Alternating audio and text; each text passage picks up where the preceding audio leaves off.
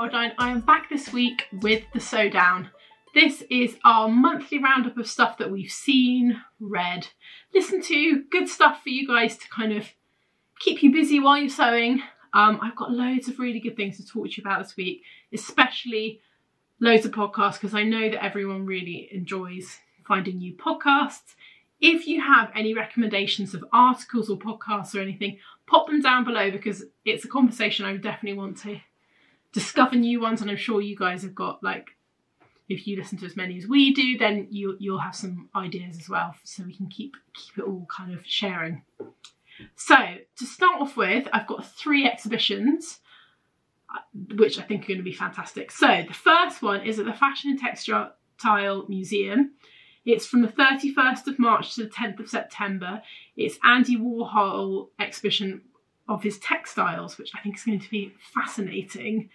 Um, I didn't really know that he'd done kind of textile design as well, which, I mean, his work would obviously translate fantastically to print. Um, but I just, I didn't know. So I'm definitely going to go and see this. And I just thought we'd let you know because it's going to be a great one and you've got quite a lot of time if you don't live anywhere near London um, to plan a trip because there's a couple of other things and you come and do like a big cultural day. So the next one is um, an exhibition at the Tate and I've been to see this one and it's on until the 21st of May. I can't pronounce her name and that's awful. It's Magdalena Akabaus. I don't, I don't know how to say her surname, I don't know how to pronounce it.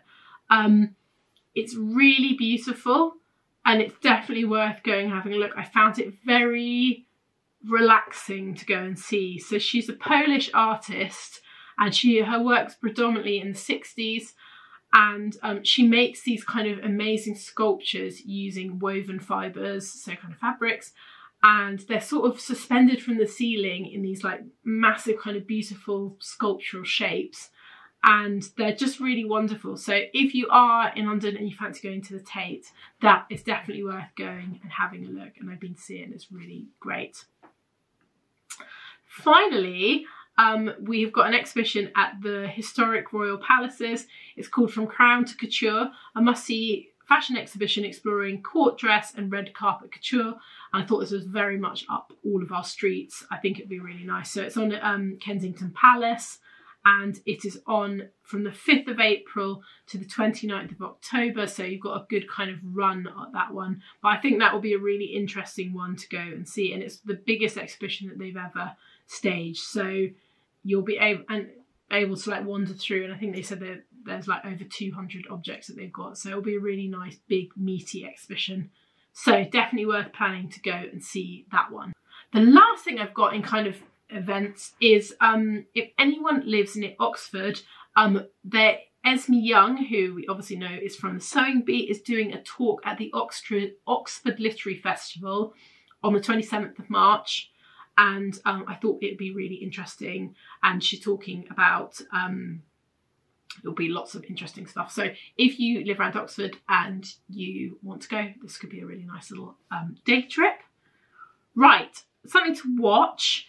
Um, I've just started this and I'm really, really enjoying it. So it is called Make It at Market. And the concept of the show is that it's a B it's on the BBC, sorry. Um, so it's one of the guys from the repair shop, which I'm sure many of you watch and enjoy as much as I do. And um, they work with a team of people to help kind of creatives or kind of craft people create businesses out of their kind of passions and there are quite a few episodes actually. I've just kind of started on the first one.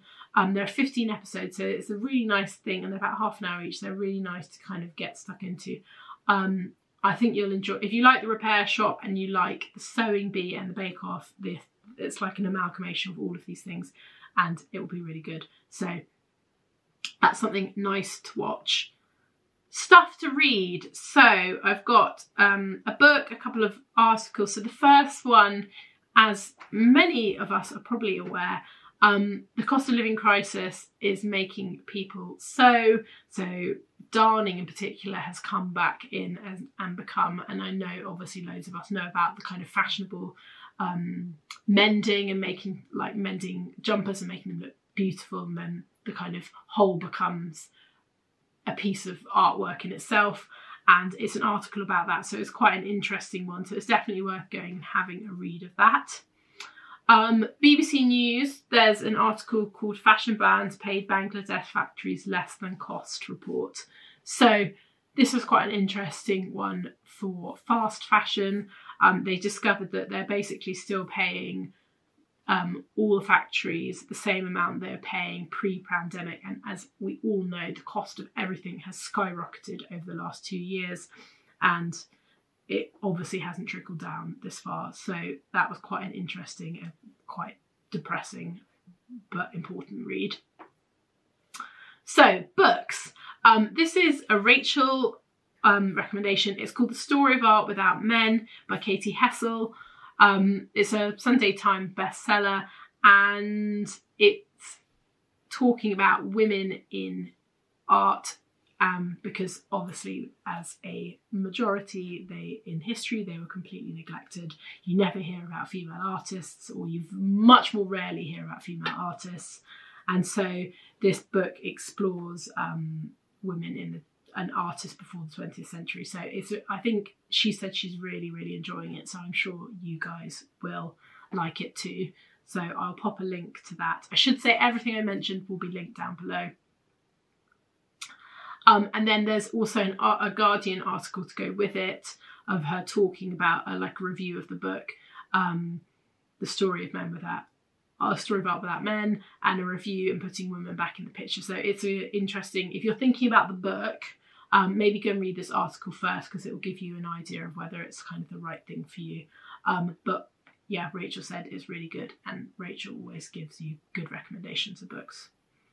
The last is like a, another Guardian article, it's quite a funny one. Um, it's about a woman who has inserted really enormous pockets into all her clothing, so big that you can put a wine bottle in in her um, in her skirts, which we thought was all quite funny. So um, that's really good little like bit of trivia to go and read and quite funny. Right, podcasts. Oh, got so many good ones. Okay, so the first one is Meet Me at the Museum. I'm sure many of you, I've talked about this in the past. Um, this one is with Amber Butchart, who is a um, fashion historian, and she um, takes her partner um, to the museum, Braintree Museum in Essex, and they look at kind of fabric. And it's a really lovely episode, and um, I loved it. So definitely go and have a listen to this one. This one is a new podcast. This is a Rach one. I haven't listened to it, but it's with Pandora Sykes, who has excellent taste in books, and it's called Book Chat. And um, it's Pandora Sykes and Bobby Palmer, and they come together each month to discuss two books and the rule is that the books have to be over two years old. So um, they both talk about them. Rach said it's really good. I listened to a bit of the first one and I think it's a very nice, they're a very good like duo and I think you'll enjoy it. And I'm always looking for new books to be reading. So this is definitely worth going and having a listen. So next podcast we've got is again it goes ties back to the book we were talking about and it's hosted by um, Katy Hessel who is the woman who wrote the book about female artists, and it's called Great Women Artists Podcast. And each episode they explore a different artist, talk about her narrative, and um, it's really nicely done. And I think you guys will really enjoy it. And I quite like the idea that you can just flick through and pick you know an artist that you're interested in or you might discover someone totally new but um it's really well researched and well produced so i think you guys will like it next up we've got a, a specific, specific episode. So Raynor Winn, who I'm sure many of you will remember, wrote the book The Salt Path. If you haven't read The Salt Path, it was probably one of my favourite books I've read in the last few years. Go and read it. It's a memoir of a woman who becomes homeless in her 60s and decides to walk the um, what's it called? The Great the coastal path that goes all the way round Cornwall and the West Country. Um, and it's just, it's so wonderfully written. And it's an episode with her talking about everything. And her husband who's ill, and it's on the Happy Place podcast. I probably haven't said that. I don't think I have. So it's a really great episode. So make sure you go and have a listen to that if you like that sort of thing. The next podcast I've got is one that I think you guys are going to really, really love. Um, it's called Articles of Interest and it's about items of clothing that we wear and they do a sort of academic deep dive into a specific kind of garment or a trend. It's really well produced. I am absolutely loving it. So I really think just just go and have a listen because I think they're really it's it's really fab. I'm so loving it. And each one I've learned like loads of different stuff about like really obvious things like jeans that I never knew about before. So it's definitely worth going and having a listen. Um, the next one is something that I just started.